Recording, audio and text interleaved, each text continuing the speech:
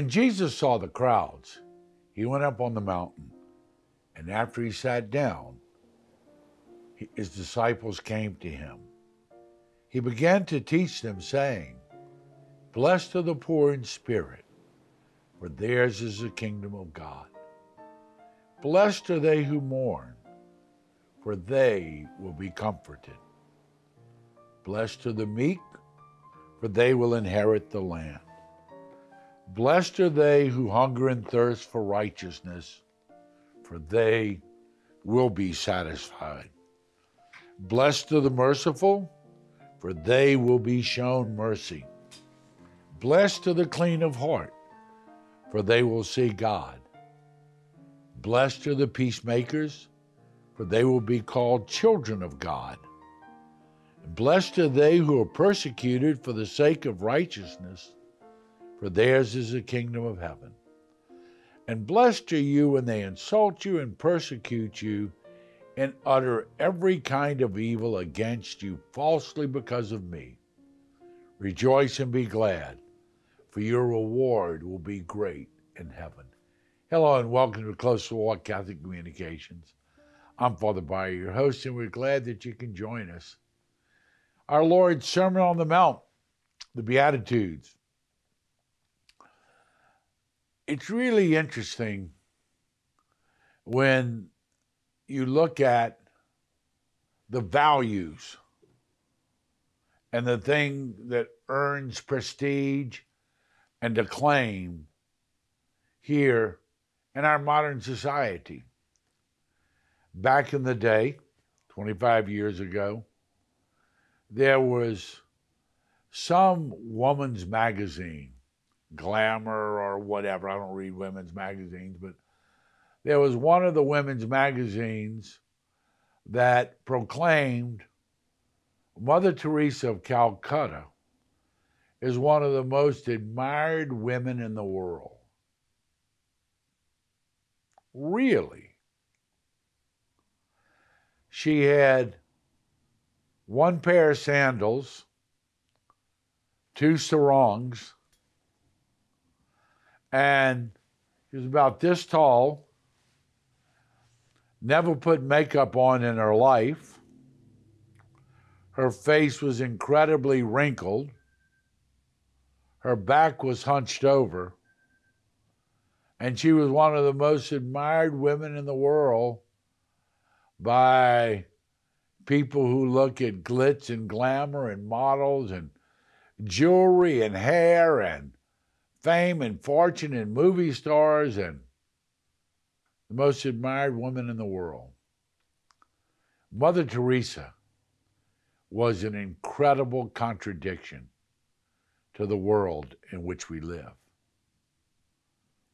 I think because she was such a contradiction, therein lied her sainthood. Therein lied her real strength not, not to give into the world. If you remember when they tried to bestow upon her the Nobel Peace Prize in Oslo, Norway, and they wanted to have the big dinner, she asked not to have the dinner, but would you please save that money and give it to feed the poor? Here's my point the things of the world and the things of God don't oftentimes align. I always get a kick out of people who say that the Catholic Church is idolatrous. And we're idolatrous because we have statues and we're making graven images and having them come before God, and that that's idolatry. Okay? We've got a person like Mary, the Mother of God, the one person chosen in all human history to bring our Savior to the world. We've got various people who, who lived heroic lives for the sake of the gospel and oftentimes giving their lives for the sake of the gospel.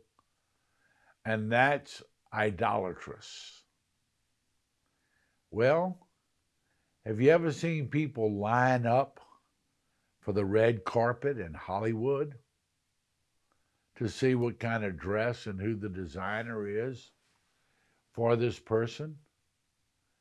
Have you ever seen people wait in line for hours to get tickets to a concert because we think these just the best band ever? Have you ever seen people willing to pay four or five thousand dollars for tickets to a Super Bowl game because their team is in it?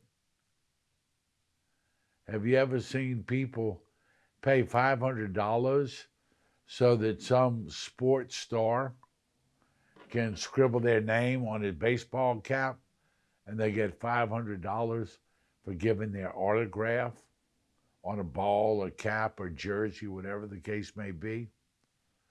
And you're going to tell me that a statue of the Blessed Mother is idolatry? Do you know how many people we worship in society? Because of either musical, athletic, or acting, or whatever the case may be, sports. We have many, many false gods. And today, when our Lord is talking about the Beatitudes, he's talking about the different things that we're going to experience in life and how to use these opportunities to bring us closer to God. Nobody's going to say, you know, I mean, I, I really want to be persecuted. No one's going to say, you know, I, I really want to mourn all the time.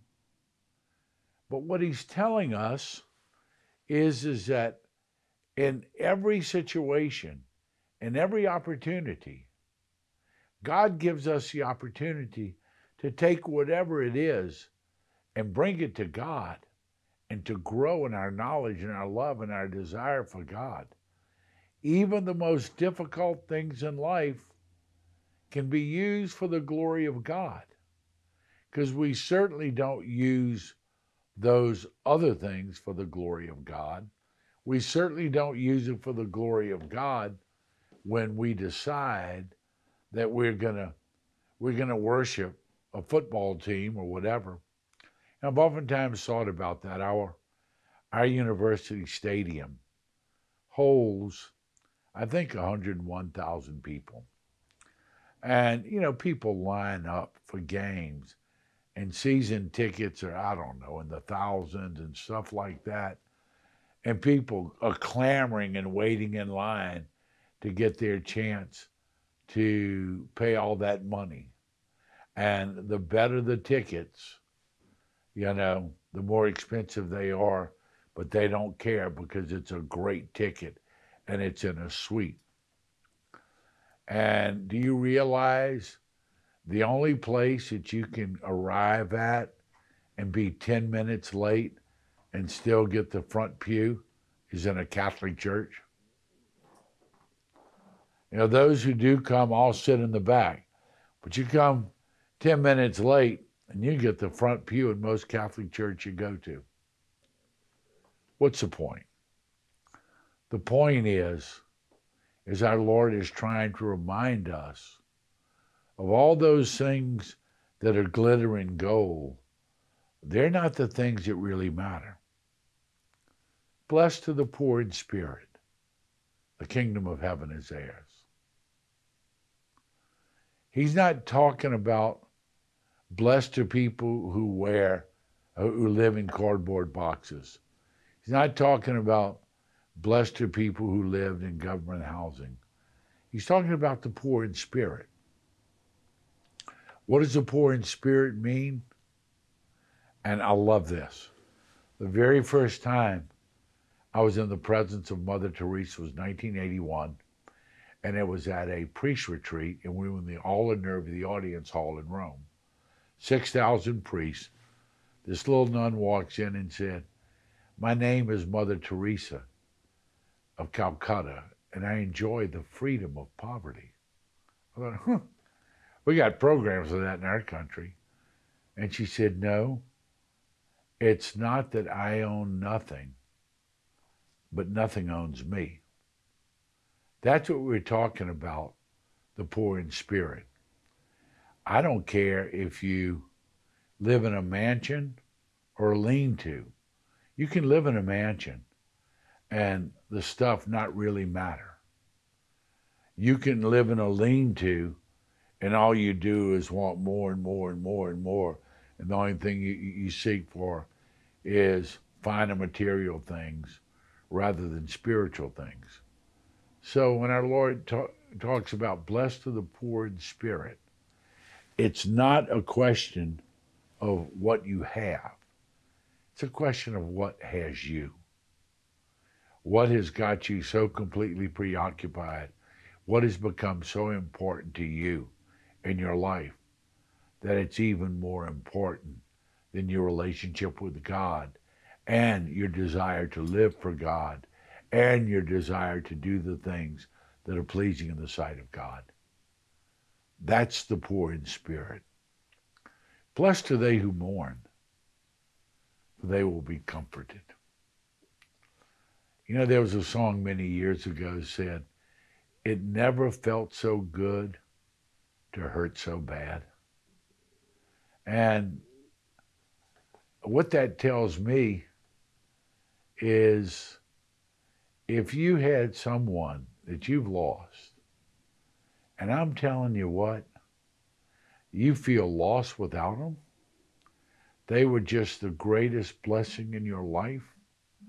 They were so stand up, they were so important, they were so good. You know, they they meant so much. You were so lucky to have them in your life. God bless you. Those are not the difficult funerals for me. The difficult funerals for me are when they've lived 75 or 80 years and no one cries and no one's going to miss them and they added nothing to anyone's life and now that they, they're gone, there's just one less problem to worry about. That's tragic. That's really tragic. But for those people who've been so blessed that you had so much that to lose it has caused such sorrow, you're truly blessed. And our Lord, they'll be comforted. They'll come to know that the only reason this is so painful is because I was so blessed in the first place. And rather than feel the grief of loss, I need to turn that into the grief of gratitude for having had it as long as I did. Because there are some people in life who will never know for one day the joy, the comfort, the gift that I had and that person. And I'll be consoled by my gratitude once I realized how blessed I really was. Stay with us. We'll be back in a moment. Hi, I'm Father Jeff Bay from Closer Walk Catholic Communications. Thank you for being here today, and a special thanks for the support that you give us. First of all, your prayerful support we so desperately need, and also your financial support. We are donor driven, and that is what keeps us on the air today. As you well know, the truth is in great demand and in very short supply, and mainstream media is not going to bring you the truth of the Gospels of our Lord Jesus Christ because that's not socially acceptable and it's not politically correct. Certainly, we all realize that when this life journey's over, we don't stand before the Supreme Court, we stand before the throne of God. Therefore, with great clarity and great charity, to pronounce the truth of the gospel is important. Your prayers, your financial support enables us to do that. So we thank you and may God bring you closer in your walk with the Lord each day. God bless you. And blessed are they who hunger and thirst, the merciful, the clean of heart, the peacemaker, the persecuted, the insulted. Hello and welcome back to Closer Walk Catholic Communications. I'm Father Bayer, your host, and we're glad that you can join us. Blessed are they who hunger and thirst for righteousness. You know, it takes a special person to look at life and be aware that all things are not just. It takes a special heart to look around and see those people who need, and see those people who do without, and see those people that just don't have the opportunities that everyone else has or they should have. And those people who hunger and thirst for righteousness. Now, some of them go around and make it their life's work to condemn anything they don't agree with. But others go very quietly and very determinedly to care for and make sure people who are less fortunate that the righteousness that belongs to them, the opportunity that belongs to them. They're seeking the justice of God. And in doing that, they'll be satisfied. Blessed are the merciful. That having, having pity and mercy on people who are, they're just so sad. They're so down and out. Uh, you know, that's easy. That's a real easy one. You look at the less fortunate, you realize what they're going through, you reach out in care and concern for that person to try to do something to help them. Those are the easy ones. I'll tell you where I struggle. Someone's got a head of hair, four or five different colors you know, it's spiked hair. They're yelling. They're angry. They're in your face, and you know they're against what you believe in and what you stand for, and you know, and the values that you have. I have a hard time being merciful to them. But you know what? I gotta look very carefully and say, what's, what's missing in that child's life? You know, why do you have a rainbow head of hair spiked all over the place? Did you never get any attention just having a normal head of hair? Did you never get a hearing just being able to talk to someone and have a conversation and to be open? Is to yelling and screaming and demanding and threatening. If, if that's your only way of communication, You've not been treated very well in this life. And you deserve some understanding and some compassion to try to be brought along. I have a hard time with that. But that's what we're called to do. You know, that when when we can look at situations and everyone everyone reacts to the incidents and the accidents of their life in very, very different ways. You know, and some people can look at it and see it's one of those things that, that happens and get on with life.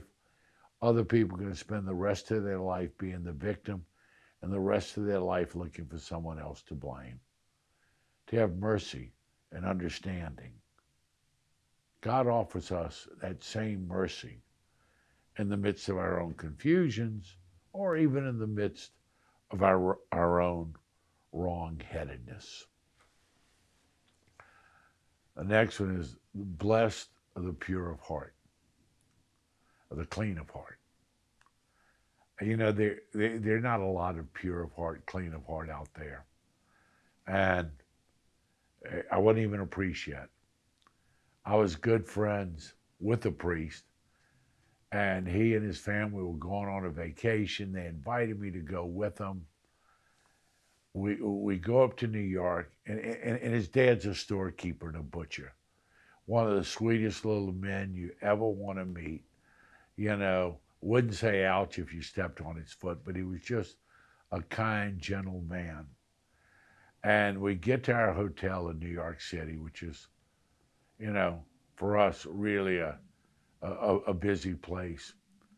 And we're going up to the room, and this older man and younger prostitute get in the elevator with us, and they're both tucking in their, their clothes, and she's trying to put her eyelash back on or whatever, okay? And they get off at another floor, and he said, Isn't that nice? He's taking his daughter to New York. And I thought, Yeah, it's wonderful, isn't it? He's taking his daughter to New York. And you really have people like that. And you really have people who are pure of heart and they see only the good things in people and they see only the best of people. And this guy Joe, he was he was he was that one. He was he was the, the pure of heart. And I really long to be like that. I long to, not to be so critical. I long not to be so judgmental. I may not let it come out of my mouth, but boy, it sure comes in my mind. And to me, that's just as bad. And I've learned to shut up, but I haven't learned to have that pure of heart, you know. And it says, you know, those who see God, the pure of heart will see God. He sees him all the time And this nice man who took his daughter to New York. He saw God, he saw the best. And blessed are the peacemakers.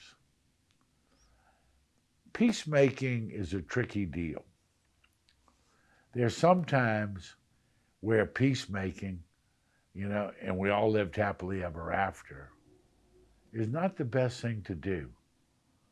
Sometimes the tensions in life and sometimes the tensions that exist between different perspectives, different points of view, different ways of doing things can be a healthy thing. But we're called to do it with charity. We're called to do it with kindness. When he's talking about blessed be the peacemakers, what he's really trying to do is the angry people who always have a score to settle, who are always going to get up in your face, who always think they know better and they're not backing down and you can't. Hey, lighten up, back off.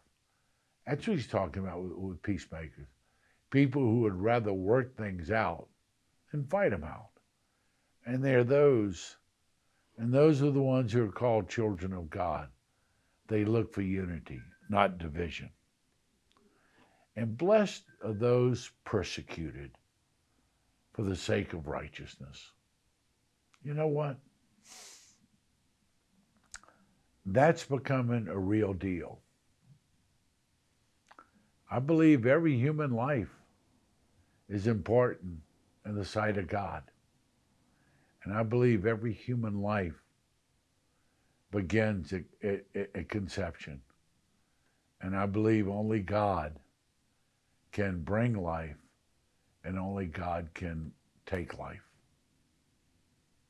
I believe each and every person is created in the image and likeness of God. I believe that every person is created for God. And I believe that every person is created to be with God. That might sound like a very innocent statement, but people are persecuted for that statement. People are harassed for that statement. People are vandalized and they're firebombed for those statements. Just where we are. It's where we are in society. You know, and when I and when when I hear some, you know, has been actress say something like, I never knew what freedom I had as a woman until I had my first abortion. Mother Teresa, there's no greater poverty than a child should have to die than for you to live as you wish. No greater poverty.